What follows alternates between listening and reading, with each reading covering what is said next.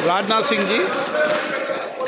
अध्यक्ष महोदय अध्यक्ष महोदय, नेता प्रतिपक्ष ने बजट के संबंधित जो भी भ्रांतियाँ पैदा की हैं, जब बजट से संबंधित जवाब देने के लिए वित्त मंत्री जी खड़ी होंगी, उन भ्रांतियों को लेकर जो भी क्लैरिफिकेशन देना है, जो कुछ भी देश को संदेश देना है, वो अपनी तरफ़ से संदेश देंगी।